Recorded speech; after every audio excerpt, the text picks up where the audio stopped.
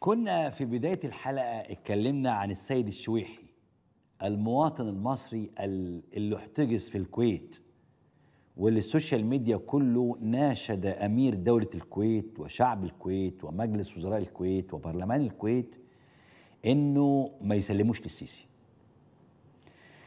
وصلني الآن حالا دلوقتي على مسؤولية الشيخ عصام تليمة.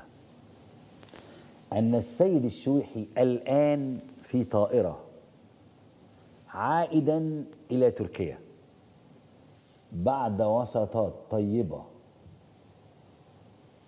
وأرجو إعلان ذلك يعني على الملأ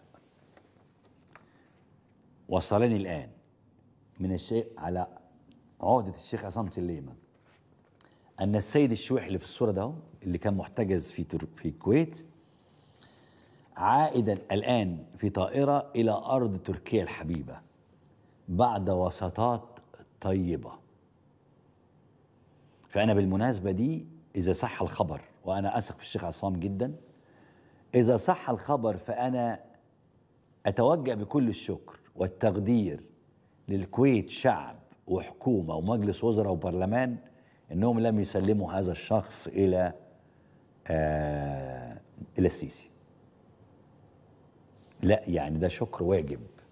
وأنا الحقيقة يعني أسعد ما يكون يعني أسعد ما يكون بهذا الخبر. لأنه من كام يوم والناس قاعدة مهمومة بالراجل ده يا عيني لأنه هيتسلم هيتسلم إلى أظلم نظام في التاريخ. وإحنا عارفين الكويت قبل كده سلمت ثمانية مصريين. آه والله يعني رسمي الخبر موجود وارجعوا له.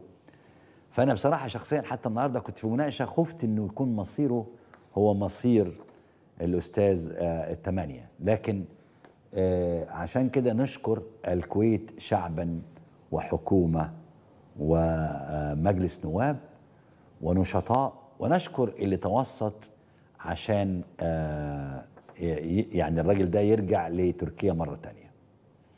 ده شكر واجب ولعل الخبر صحيح لعله صحيح. وأنا أثق في الشيخ عصام ومصدر الشيخ عصام.